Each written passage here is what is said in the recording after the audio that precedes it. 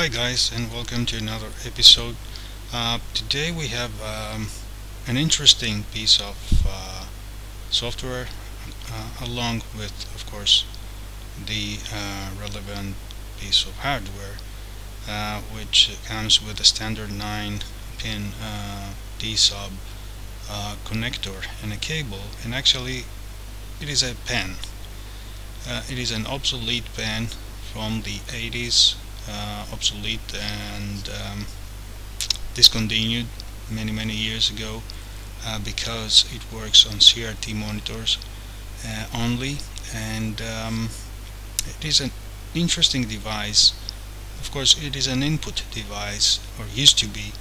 Um, consists of a simple lens at the tip of the pen and a photosensor inside um, the pen.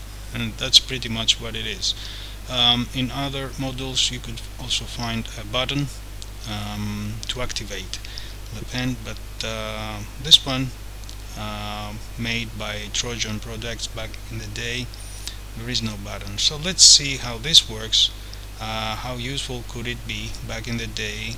What you could do um, if it is well actually it was compatible with games. Um, but also other applications like drawing and uh, graphic designs and stuff like that. And um, why is this a, failure? But first of all let's see how this works. And remember it works only on CRT screens. Um, I saw uh, something uh, like uh, it will be only possible to operate this um, on the uh, color monitor of the Amstrad. So this is what I have here uh, for this test but um, I don't know why but uh, it should be working on every CRT from the old days. So we have connected the uh, light pen um, at the back of the Amstrad on the in, inside the joystick board. There is no light or anything. You can see probably the lens is behind the tip. Um, and now we're gonna try to load the software. Just um, a simple device as I said a photo sensor is inside uh, no button uh, to activate it or anything so probably this the state is always on I believe and um, yeah let's try to load the software and, and um, explore uh, the possibilities uh, what we can do what we could do with this little pen. Um, actually the principle is pretty simple. It's not um, the, the the idea is probably what we uh, we keep in mind is that the um, the light pen indicates the where uh, we are touching a pixel or a, sp a, specific white area on the screen. Um, but uh, I think uh, it is better uh, there is some better way to put it and this is um, when actually we are pointing on the screen on some specific area because the screen um, is uh, refreshing all the time. Uh, there is this beep beam scanning uh, or based around this beam scanning principle which means of course that the screen keeps refreshing every microsecond or so. We have uh, one pixel um, lead up on the screen only. So by that time we can um, really identify when uh, the light pen touches the right um, uh, pixel on the screen. And then uh, with the help of a video chip the computer can tell uh, which the position what the position of this specific pixel was. Now one other interesting thing is that not um, every light pen every device like this back in the day was compatible uh, compatible with one another uh, because that was the way things were back then. And of course it wasn't any science behind this. It was just uh, they, were uh, putting uh, the cables in the D-sub um, the other way around uh, little changes that could make um, the product incompatible to one another so that was pretty much how it was done. Now let's get back to our software. We can see the Trojan Products uh, software um, came up on the screen. And now we have to uh, make the real test. I'm going to uh, choose the instructions if I can make it. So there you go. Um, explanatory text uh, what it does uh, and what you can do um, potentially can help you with applications like uh, computer graphics or other applications or you can build your own application um, because this is what we used to call open source back then. I don't think so. But um, you can break into the um, this application coming from Trojan projects back then. Uh, the code is not locked. It's free. So you could take the subroutines um, how to control and or get the control and get the coordinates for whatever you need to do. And here is explanatory text um, and take advantage of this code and this uh, subroutine in order to create uh, your own stuff which is uh, pretty interesting.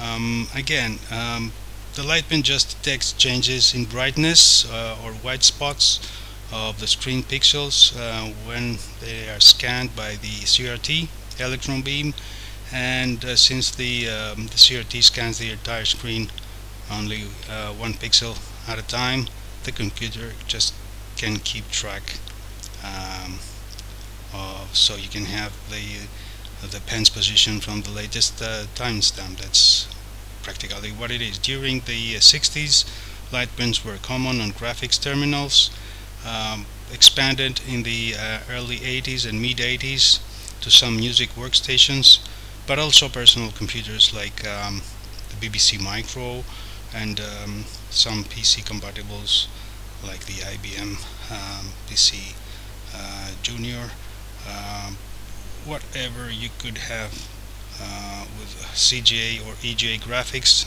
then of course the micro uh, computers the home micros uh, the Ataris the Commodores the Amstrads and all that uh, so it was um, quite a success.